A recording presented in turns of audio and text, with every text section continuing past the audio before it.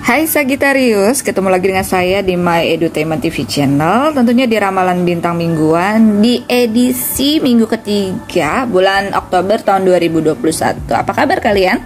Semoga selalu dalam lindungan Allah Subhanahu wa Ta'ala.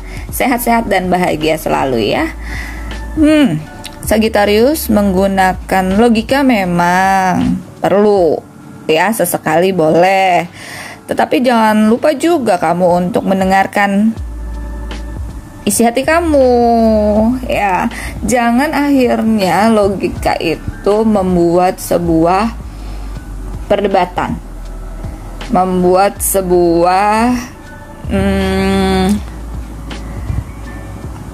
apa ya masalah yang akhirnya jadi bikin nggak enak.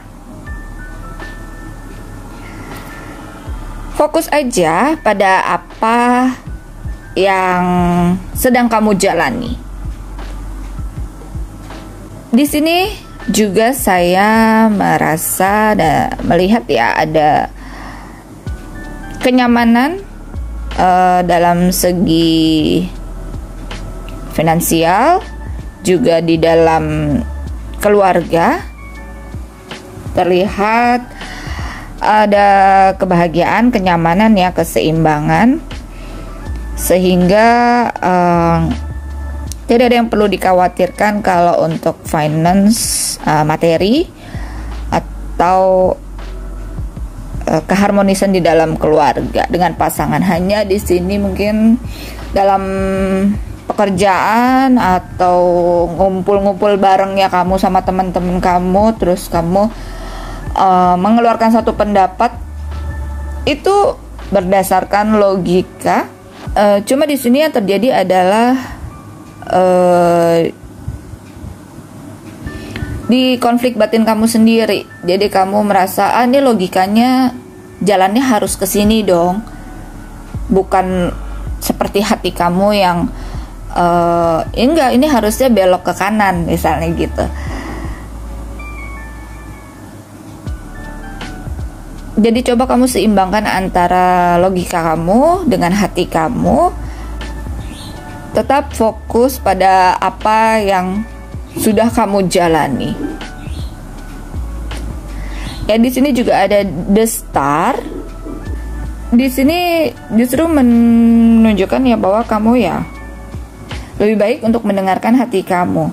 Ini adalah kartu mengenai uh, keyakinan spiritual inspirasi itu datang melalui hati kamu bukan berdasarkan logika ya. Jadi ya baiknya kamu dengerin aja hati kamu untuk melangkah ke depannya lagi nanti bagaimana. Coba kita lihat dulu untuk kartu energinya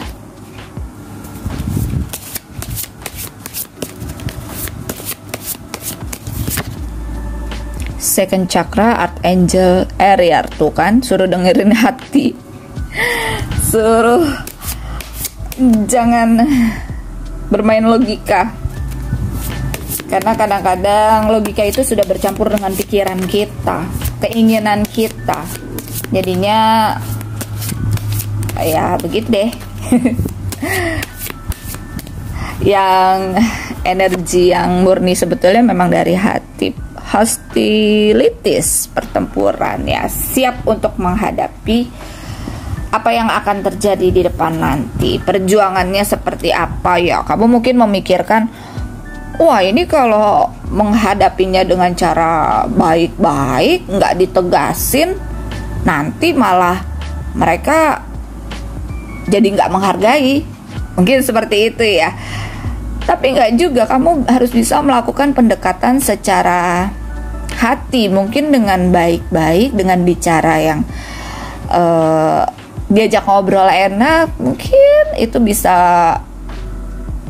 apa men, apa mendatangkan solusi gitu loh. Jadi akhirnya mendapatkan solusi dari hasil obrolan-obrolan itu. Daripada harus bertindak tegas nih harus begini gini gini tanpa memikirkan mereka bisa nggak ya menerima ketegasan dari kamu? Seorang pemimpin juga kan nggak ha memang harus tegas tapi juga harus bisa mengayomi harus bisa uh, apa dengerin apa uh, kendala masukan atau yang menjadi unek-unek anak buahnya kayak gitu. Oke coba kita lihat. Untuk lovers oracle cardnya. Ya yeah. healing.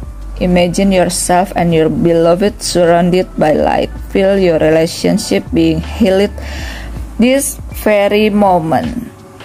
Ya nih kamu butuh uh, pemulihan untuk mengambil sikap ini. Mungkin kamu harus tenang dulu diam dulu coba untuk healing, untuk pemulihan dulu ya.